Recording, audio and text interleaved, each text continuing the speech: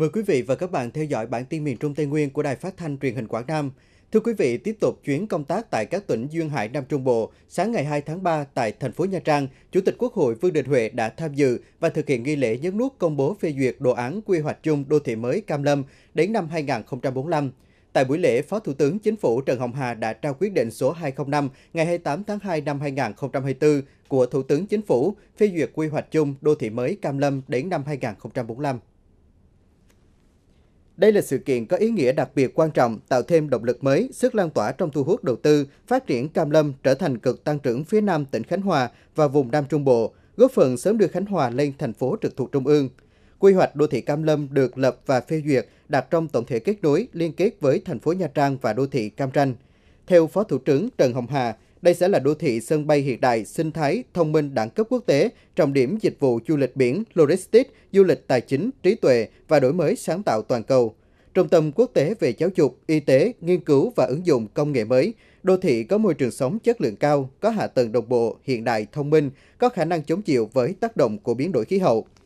Phó Thủ tướng đề nghị Khánh Hòa cần nỗ lực để tận dụng và phát huy đạt hiệu quả cao nhất những cơ chế đột phá, chính sách đặc thù đã được Quốc hội quyết định tại Nghị quyết số 55-2022 QH15 ngày 11 tháng 6 năm 2022, đặc biệt là phân cấp, thẩm quyền về quản lý quy hoạch, đất đai trong giải phóng mặt bằng, tái định cư, triển khai các dự án đầu tư hiệu quả nhất. Phó Thủ tướng đề nghị Khánh Hòa cần thực hiện tốt công tác khảo sát địa chất, thủy văn, tính toán kỹ các tác động của biến đổi khí hậu, triều cường ngay từ phương án quy hoạch chi tiết, thiết kế, thi công nhằm đảm bảo tính bền vững, hiệu quả công trình, an toàn về tài sản tính mạng cho nhân dân, đồng thời phải hết sức tuân thủ quy định về thiết lập hành lang bảo vệ bờ biển theo luật tài nguyên, môi trường biển và hải đảo, đánh giá các tác động kinh tế xã hội, cảnh quan môi trường, nâng cao nhận thức, kinh nghiệm, kỹ năng ứng phó thiên tai của nhân dân, tuân thủ các quy định pháp luật về bảo vệ môi trường, ứng phó biến đổi khí hậu và phòng chống thiên tai, sạt lở, bảo đảm an ninh quốc phòng. Phó Chủ tịch Quốc hội Nguyễn Đức Hải vừa có buổi tiếp công dân định kỳ theo lịch công tác của đoàn đại biểu Quốc hội đơn vị tỉnh Quảng Nam. Tại buổi tiếp công dân, hầu hết các kiến nghị liên quan đến chính sách đối với gia đình người có công với cách mạng và những vướng mắc liên quan đến đất đai, giải tỏa đền bù. Đặc biệt, một số kiến nghị của công dân mua đất tại hai dự án Hera Camlac Riverside và 7B mở rộng tại Điện Nam Điện Ngọc, thị xã Điện Bàn do công ty Bách Đạt An làm chủ đầu tư. Các công dân đề nghị đẩy nhanh tốc độ thực thi pháp luật đối với hai bản án đã có hiệu lực liên quan đến các dự án nói trên để sớm có sổ đỏ cho người mua đất.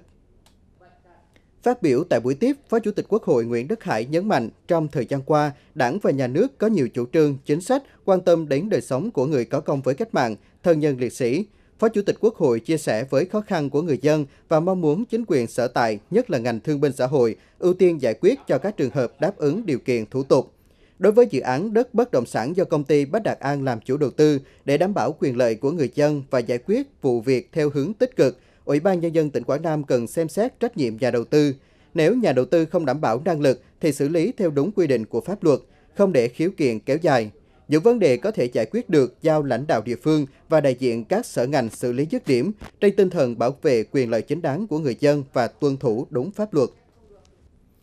Cũng tại tỉnh Quảng Nam, Bộ Tư lệnh Vùng Cảnh sát Biển 2 vừa tổ chức lễ ra quân huấn luyện năm 2024. Tham dự có Trung tướng Bùi Quốc Oai, Chính ủy Cảnh sát biển Việt Nam.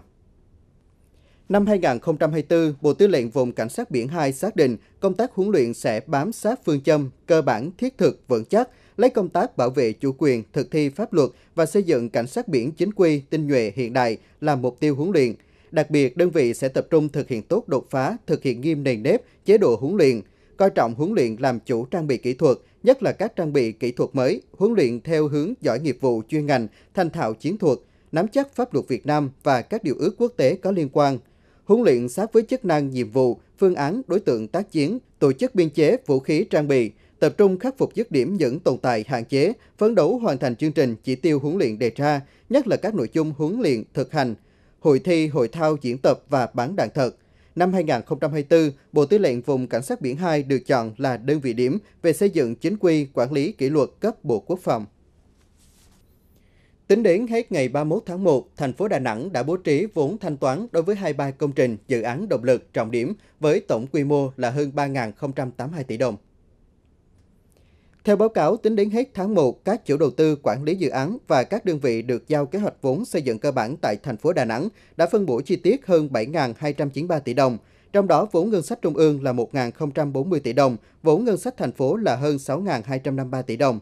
Theo kế hoạch, năm 2024, thành phố Đà Nẵng được giao vốn đầu tư công gần 7.300 tỷ đồng. Trong khi đó, Hội đồng Nhân dân và Ủy ban Nhân dân thành phố đã giao kế hoạch cao hơn là 8.880 tỷ đồng. Đến hết tháng 1, thành phố Đà Nẵng đã bố trí vốn thanh toán đối với 23 công trình, dự án động lực trọng điểm với tổng quy mô là hơn 3.082 tỷ đồng, bằng 34% tổng kế hoạch vốn và bằng 42% kế hoạch vốn xây dựng cơ bản đã phân bổ. Trong năm nay, thành phố đặt mục tiêu sẽ hoàn thành 40 công trình, dự án và khởi công 38 dự án mới. Vừa rồi là bản tin miền Trung Tây Nguyên của Đài Phát thanh Truyền hình Quảng Nam. Bản tin có sự đồng hành của bàn thạch Riverside Hotel and Resort. Cảm ơn quý vị và các bạn đã quan tâm theo dõi. Thân ái, chào tạm biệt.